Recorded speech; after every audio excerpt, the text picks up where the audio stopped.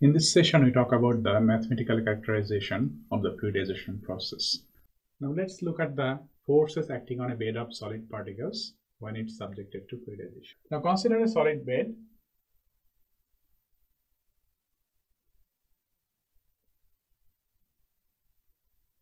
Now similar to the case for an individual particle, the forces acting on the bed of particles are the same. Meaning you have three forces, the external force, which is the gravitational force, the buoyancy force, and the drag force. Now let's see how their formulation becomes when instead of a single particle, we consider a bed of particles.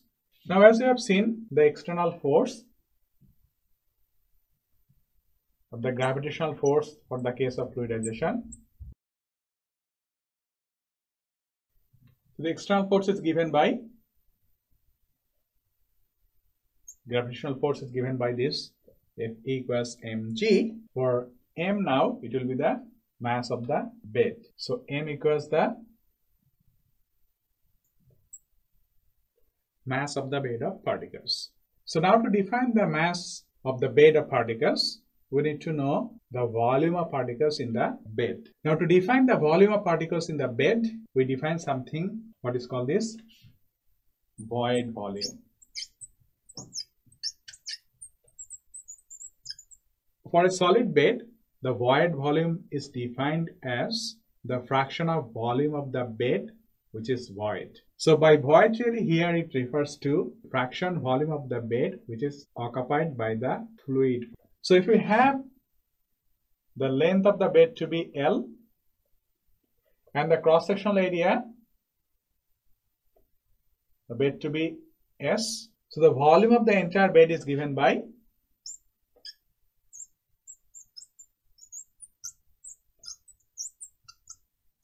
L times S. We know that the void fraction is the, sorry, this should be void fraction which is defined as the fraction of volume which is void meaning for this case fraction of volume which is occupied by the fluid. So volume of the bed being Ls, we'll have the void volume to be Ls times epsilon, so that's definition of the void fraction, and we'll have the solid volume to be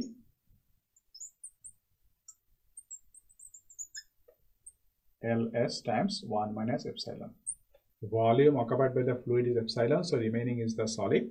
So that's 1 minus epsilon gives the fraction volume occupied by the solid and that multiplied by the entire volume will give you the solid volume. If this gives the solid volume, we have the gravitational force given by Ls 1 minus epsilon rho p g. The same with the buoyancy force then. Buoyancy force is given by the volume of fluid displaced by the solid which is the same as the volume of the solid times rho of the fluid and g. So in the force balance we have seen the the three forces acting on the particle are the gravitational force, the buoyancy force and the drag force. So the drag force has a relation with the pressure drop. Pressure drop is caused because of the drag exerted by the fluid on the solid. So there is a direct relation between this drag force and the pressure drop. If you take the pressure drop for the entire solid bed, the equivalent force will give the total drag exerted on the solid particles by the fluid. So you'll have direct relation between the drag force and the pressure drop as Ft equals delta P times the area. So the delta P you know, flow is in the upward direction. So the area perpendicular to the flow is S and if you multiply this area by the pressure drop, you get the total drag force. Now initially, if there is a low velocity of fluid, there is not enough drag. So the drag force cannot overcome the difference between the gravitational force and the buoyancy force. So the fluid does not move. Now if you keep on increasing the fluid velocity, the drag force will increase and at some point the drag force will balance the difference between the gravitational force and the buoyancy force and that's where fluidization takes place. And when it's fluidized, the fluid keeps on flowing through the bed at a constant velocity and this net force becomes zero. So in that case, we have Fd to be Fe minus Fb. Now if we simply plug in those values over here, delta Ps will become Ls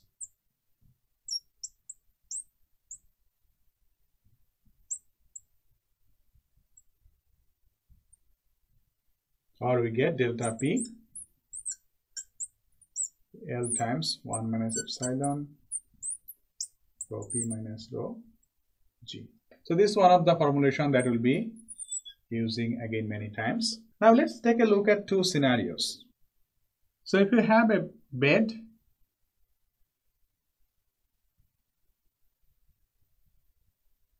at two different velocity condition the bed has two different length.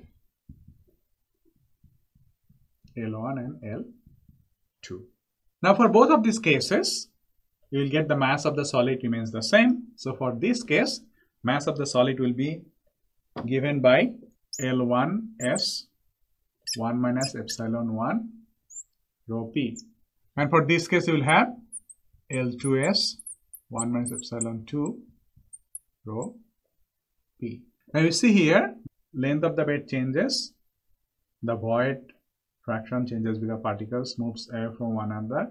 There is a more void volume there, so more void fraction there. However, for both cases, the S are the same. So if we have this, you get L1 times 1 minus epsilon 1 equals L2 times 1 minus epsilon 2. So what we have from here is that L times 1 minus epsilon, this is a constant. So if you take this to be the constant in here, you see the rho p and rho is already constant and g is a constant. So delta p becomes really a constant. That's why you have seen when the bed fluidized, if you keep on increasing the fluid velocity, the bed length increases. However, the delta P, that means the pressure drop or the pressure difference between the two end of the fluidized bed, that remains constant. Here we'll also use another formulation of this equation, which is given by delta P over L to be 1 minus epsilon rho P minus rho G. This is another formulation we'll also be using. And from here, you see that another case we'll take where we'll consider L1 over L2 becomes 1 over epsilon 2 over rho minus epsilon 1. Now this formulation will be using for determining the length in some cases.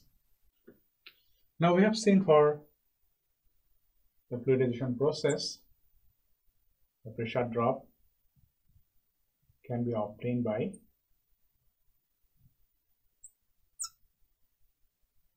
the force balance. Also the pressure drop can be obtained by this mechanical energy balance equation which is for if you have a flow through a pipe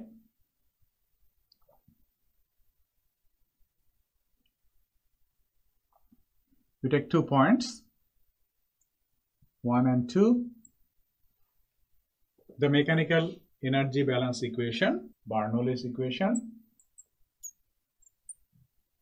gives the relation between all of the energy components of the fluid for this two position 1 and 2 which is given by P1 over rho plus G Z1 here is the P is the pressure at point 1 rho is the fluid density G is the gravitational acceleration Z is the elevation of the point 1 plus alpha 1 V1 squared over 2 minus HF where HF represent the friction loss. This gives P2 over rho plus G V2 plus alpha 2 V2 square over 2. So the relation between two points for fluids flowing through a certain structure. Now for our fluidized bed, We can also think the same way where if we take this to be 0.1 and this to be 0.2, we can write the same energy balance equation for this case as well. Now we'll make some assumption here. The first one is that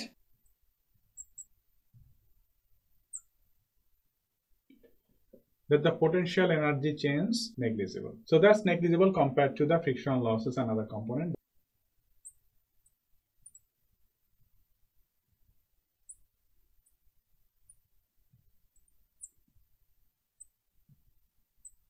For the second case, we'll assume that the velocity remains the same at this 2n. Also like the velocity correction factor in the energy balance equation, they are the same. So we'll have alpha 1 equals alpha 2 and v1 equals v2. With all this, if you simply take these components out from the equation,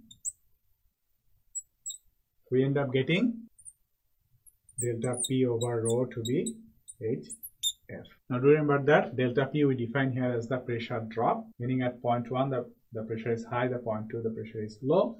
So delta P is really P1 minus P2, not P2 minus P1. Now what is this frictional losses here? Now to do that we'll assume that the flow of the fluid is through some narrow channels inside the bed which help us to assume the same mathematical characterization as flow through. So consider these individual channels to be narrow pipes and we'll use the same expression for frictional loss for flow through narrow pipes for this condition as well. Now for flow through pipes, we have a relation of HF which is given as 4F length of the pipe, diameter of the pipe.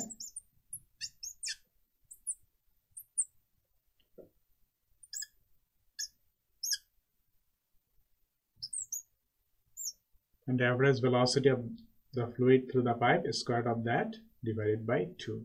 Now this is for the length of the pipe and for the diameter of the pipe. Now here we need to consider that if we have a bed length to be L the fluid may not flow in a straight line from point 1 to point 2. It will need to go through some tortuous path to reach from point 1 to point 2. So if the bed length is L, for our case, we'll have to take some factor of L. So that's one thing. Second thing is the D pipe. What's the diameter of the pipe for this case? So we need to consider these two. Now considering those two, we'll have an expression for HF to be 4F, where F is the friction factor. We'll take, for a pipe, it's taken as the length of the pipe for a straight pipe. Because the fluid needs to go through some tortuous path over here, some factors times the length of the bed. And then D pipe is really for our case, there is no diameter of the pipe here. Is what is called this hydraulic radius. And we'll take v bar square over 2 where v bar is the velocity of the fluid. Now we will directly use the expression for this hydraulic radius which is given by 2 over 3 epsilon over 1 minus epsilon ys dp.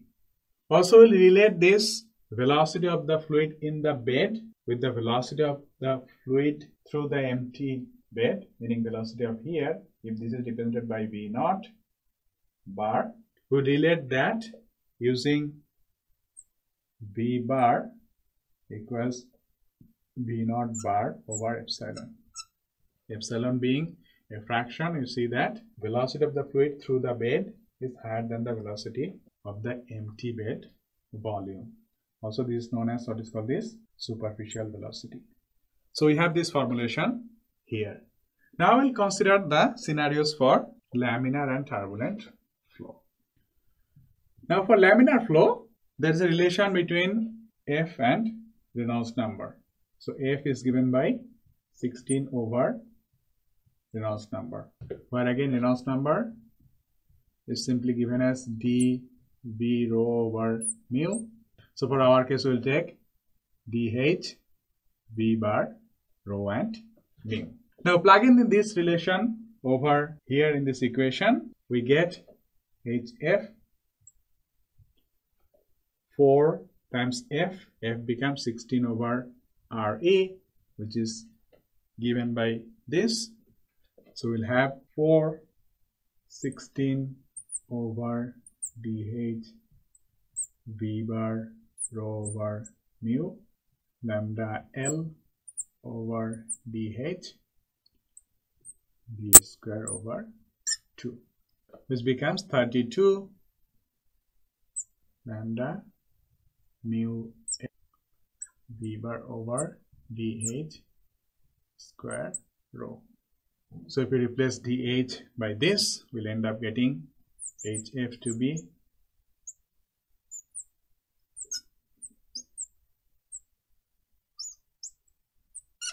lambda mu l